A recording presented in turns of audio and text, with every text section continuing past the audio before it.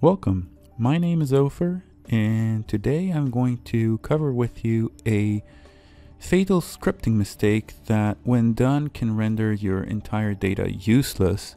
And it's important to understand the origin of the problem, how to avoid it, and what the warning signs are that you're nearing uh, to perform that issue. So, we're going to talk about that today. I'll do a short demo of this and also how to avoid it.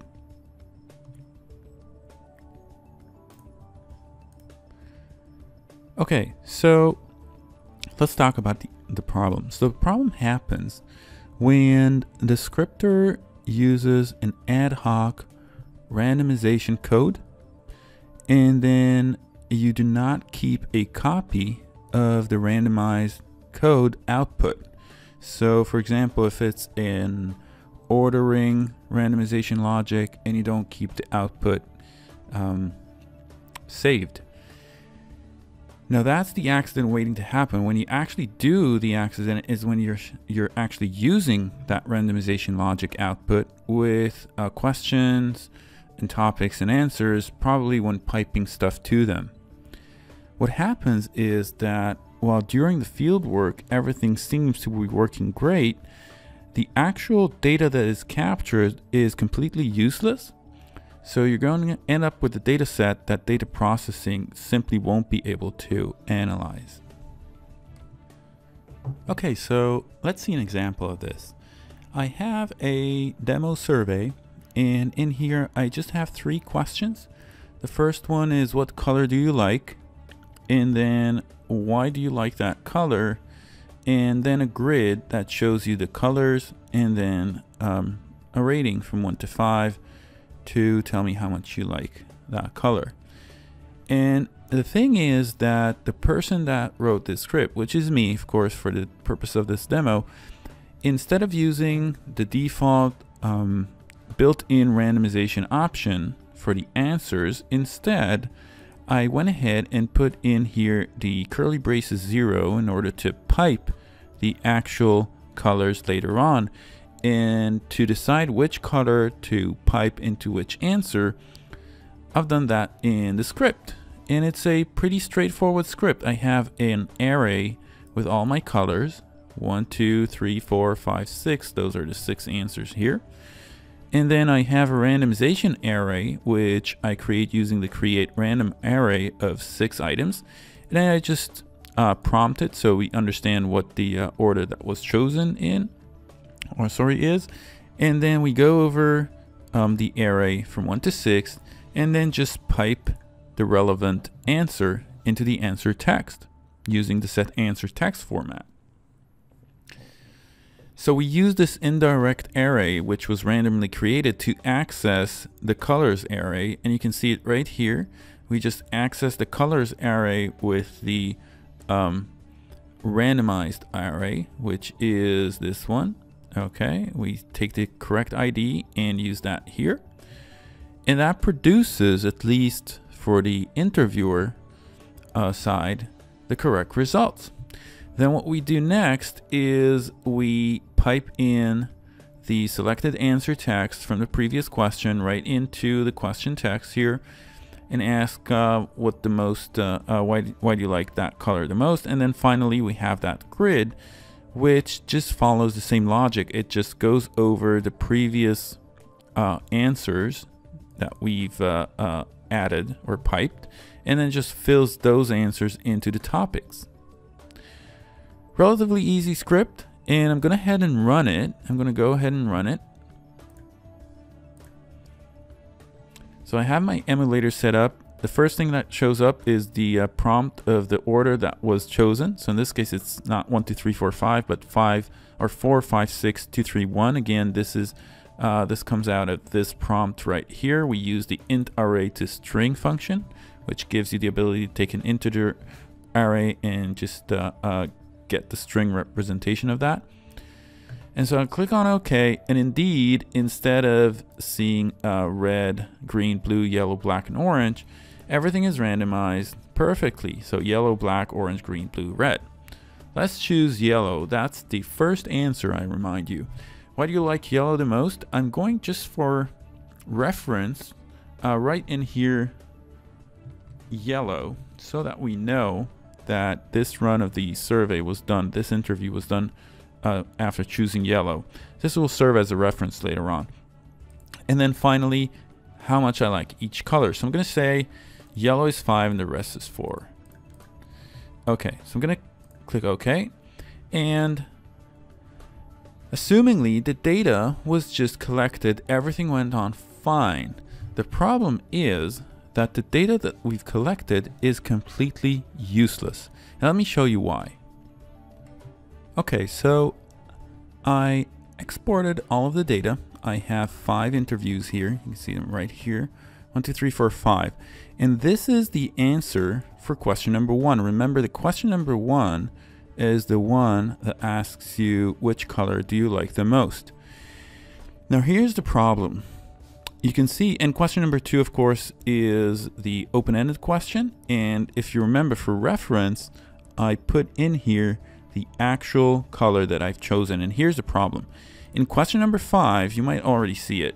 All of the codes here that read one, okay, in one of the interviews it meant orange, in one of them it meant yellow, in a different one it meant yellow again, and then in a different one it was blue. Now from a data perspective, data processing perspective, this is completely useless. Mind you, of course, that this column would not read the actual color chosen, but just the reason why we like that color the most. So the data processing person has no um, no ability to understand what one means, and he would um, analyze this row the orange one is exactly the same as the yellow one because it's the same code. And the reason for that is because we use to pipe the, that text into that same answer, which gets the same code. And the same goes for the single choice grid, which is right here. All of these numbers are exactly the same, but this is the first uh, topic. I rated 5 my uh, chosen color and you can see that in this case, you don't know what the 5 means because it's the first topic, but in the case of this interview, the first topic red orange, and in the case of this interview, the first topic red, yellow.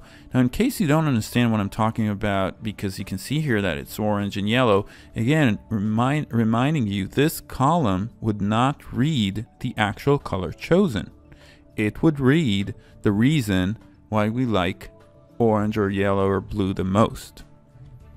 So what do we have? Well, we actually just threw away all of our data. We spent all that time scripting, collecting data, and all of it is useless, completely useless.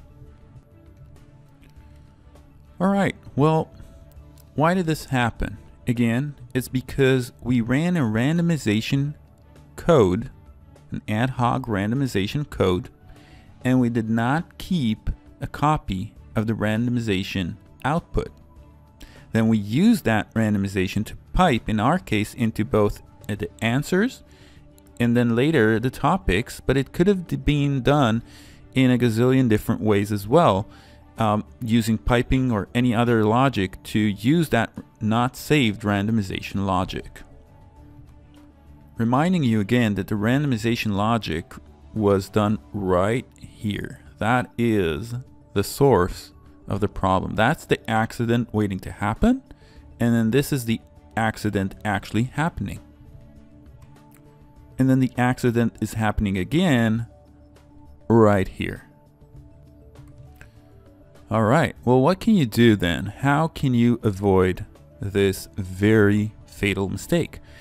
Actually, it's very easy. To avoid it, first, always try to use the built-in randomization options. It's the safest. Now in our example, that's super, super easy, of course, because we just want to randomize the order. So the only thing we needed to do was to go to the advanced tab on the question and activate the, randomiz randomized answers. That's of course very easy to do and it's a very simple example because we've reduced the example to the minimum um, occurrence of the problem, but it can get quite complicated. But still, there are enough mechanisms built in with uh, uh, callbacks and what have you not, if you're using loops or whatever, to still make use of the built-in randomization options and avoid this mistake. So that's, that's way number one and the safest way to avoid this problem. Moving on, if you can't do that, for whatever reason, you just can't use a built-in randomization option, what you absolutely want to do, and that's in the following order, is to always save your output of the randomization to first either a dummy variable, and I'm going to show you how um, in a couple of moments. That's the safest the best and safest technique. Always save it. You can also save the output to a global vars variable, and I'll tell you why. Because the global vars are serialized, saved, and later on you can actually search for them in the log. The last technique that you can use, it's it's it's not it's not good, and I'll tell you why in a sec but still it's better than nothing, is to log the output using the trace function, which will log it to the interview log. And that way, later on, if worst comes to worst, you can always either manually or write a piece of code that will analyze the interview logs of each and every interview that was collected. Now this this might end up costing you days of work, but at least you won't um, lose the data. So um, your best bet, dummy variable, then a global var vars variable, and uh, logging to the log file using the trace function. But the nice thing about this is that you don't have to choose a technique. You can actually do all three or just two of the three uh, or just one of them. It's up to you. So let's um, go back to our questionnaire and now we'll go to the second chapter. Uh, now it's those same three questions. What color do you like the most? Why do you like that color the most? And a rating. And in this case, it's written okay because we've chosen the technique of using dummy variables or dummy questions for this uh, survey let's examine what the difference in the code is. So first we have a dummy question that just holds the actual colors that we have and instead of hard coding them, we've added a scale called dummy colors, put the scale right in, and since it's a dummy question, it just serves as a placeholder for the different um, um, colors. It's much more robust and scalable because the code that you'll see in a moment makes use of this uh, uh, uh, scale. So later on, if you add a color, you just need to add it to the scale and all of the code adjusts automatically instead of in this case where you actually, in the first case, where you actually need to add it um, hard coded to the array and then create a different uh, sized array and loop differently, etc. So we have um, this question, the dummy colors question. And we've also added an open-ended question to hold the actual order that we've out that we've created. So this dummy variable will hold the output of the randomization and this might be used later on by data processing to actually um, make use of the data. Now, of course, the best would have been if we've just um, activated the randomized uh, answers because then data processing just could have easily um, analyzed the data. The data would have just shown in the data set regularly and it was just randomized for viewing purposes. Uh, but I chose to go down a different route just to show you the little bit more complicated version of how to hold the data. So what changed in the actual code? Let's go to this question and the start scripts. Okay, so first I commented out the colors because we don't need them anymore. They're in our dummy uh, question. And now we have a new code. The rest of the code is exactly the same as before. In our new code, um, first checks if um, it gets the actual current randomization that we did from Q5, which is the dummy holder. Now, of course, the first time that we run, it's completely empty, so we need to create it. So we have this if structure here to actually create it. And here we create the array, we create a random array in the size of the answer count of Q underscore 4, which is our dummy colors. That makes it so much more robust. And now we turn that array into a string and save it as the output of question number five. This, my friends, this is the um, heart of the solution. This makes everything okay because now we're saving the output. The rest of the code is just taking that output that we've just saved and uh, it turns it back into an array and then uses it to pipe uh, the answer text and then the other stuff is exactly the same. The only other difference that we have is that in this loop of the topics, we just loop uh, over the amount of topics that we have instead of looping over six times. Now this very small change that we just uh, did, that actually is going to save our data. And I'll show you why. So here's our data again. And now it's actually uh, the same data set, but we're looking at Q5, 6, 7, and 8. This is our colors um, dummy variable. Won't get an answer, not a problem. This is our order variable, and this is the, the important one.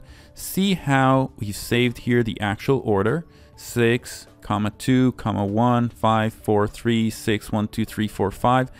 This is the one that makes the person understand that, or the data processing person understand that the one here represents the first item here, which is six. And if we go back to the actual questionnaire, to our colors question, you see that item number six is orange. This means that six is orange. Indeed, it's orange. And this means that topic number one relates to orange. Topic number two relates to the second item in the list. In our case, it was two. That's green. Okay, etc. This small solution makes all of the field work now worthwhile because now we know the order. So I chose the dummy variable technique. I could have also used a vars variable to save the data. It would have been much harder to then later on use in the data processing part, but at least it would have meant that the data was saved somewhere, or I could trace it out to the log file. It's beyond the scope of this um, session to cover the log file and how to uh, access it and view the data, but uh, at least it would have been saved, which is better than not saving it at all. Lastly, we're going to talk about warning signs. How do you know if there is a potential for this catastrophic issue in your script? Okay, so when you see the following, always, always be in doubt, meaning check it if you see these types of warnings. The first is if you see a list of answers or topics somewhere where all of the answers and topics read curly braces, meaning someone is going to pipe there something and if that someone is going to pipe in there something randomized without saving the randomization output, that's when you are um, going to get hit by this issue. So even if you see the curly braces, it doesn't mean that it's completely wrong. There are a lot of situations where you can have this and everything is okay. But if you see that list of answers or topic reading curly braces zero, watch out and investigate if the code that fills them in is in fact um, problematic. And I'm going to show you a real quick tip about how to find out what code sets what. I'm back at my uh, script and if I right click on a question, I can choose the find reference option here and it will show me immediately which questions are referencing my question. So you see here where I can see the set answer. So immediately I can click that and know exactly who, what code is accessing my question. This is a great, cool technique and it's going to save you a lot of time when trying to figure out and investigate who's accessing a question. Next up, if you see someone looping over a number of times and not a scale, watch out. Watch out. Usually loops are done over scales. If somebody is looping over numbered items and not scales, that might mean that that person is piping something later on to the loop and you won't have an idea what that something was if it was randomized and not saved. So loops over numbers instead of scales are a very big warning sign for this issue. Again, it can be perfectly fine, but be warned. Next up is using global variables, which, is, which are non-vars variable. And I'll show you real quick what I mean. Okay, back at the script. If I go into the advanced scripts, um, I have my functions here. Uh, it is possible to just put in here var xx equals 1. For example, this declares now a variable which can be accessed both from the function, so I can say var a equals xxx. Okay, that that's a good syntax. Uh, and it can also be accessed from outside of the advanced function. So it is essentially a global variable, although it's very highly recommended not to use those because those are not serialized or saved when you do a stop and continue in the interview, meaning each time you load the survey in the device again, it's going to get reset. So if you play around with it, it's very dangerous for a lot of reasons. But the most dangerous reasons is that this is not saved anywhere. So if this is the output, if this holds the output of a randomization logic, you are screwed. So don't do this. Instead, what you can do is you can say vars xxx equals 1. This is a global variable and you can also define it instead of a um, just globally you can this access it right from a function. This still is a global variable accessible from anywhere in your code. But the nice thing about this is that it's serialized, it saves it's is saved between stop and continue, and it is written to the log. And so if a worst case scenario happens, you still have all of the data of this var written inside the log and inside the interview data. So use of global known vars variable, a big warning sign, big no-no, um, and watch out for that. The last thing you want to see or you want to warn yourself about is code that calls randomize array, create random array, create cyclic random array, all of the function that randomize or just random, random, all of these, you do a quick find to find them. And then if they exist, be very warned, check multiple times that the output is being saved. Here's an example. To find them, it's very easy. You just click on the search and survey, you put in here random, then you click on search, and it will immediately show you who's calling a randomized function. So I see it's in question number one, and I see it's in question number six, in question number six, I can see the code that saves the output. In question number one, I can see it's not saved. Immediately, I understand there's an issue. I can stop everything and fix it. So to sum things up, the most important rule you need to keep in mind is A, of course, for this specific issue, um, avoid not saving randomized output. But the bigger learning out of this is that when you're scripting, constantly think how DP are going to analyze the data output and if they can. Because ultimately the data is gonna reach DP. So the best scenario is if you work with the data processing team together when scripting, or if it's the same person, that's fantastic. But if not, if you if you can't access the data processing team, if you cannot work together on the project, try to envision how you're going to analyze the data as a data processing person and see if the code that you're writing right now when scripting, if it makes any sense later on for the data.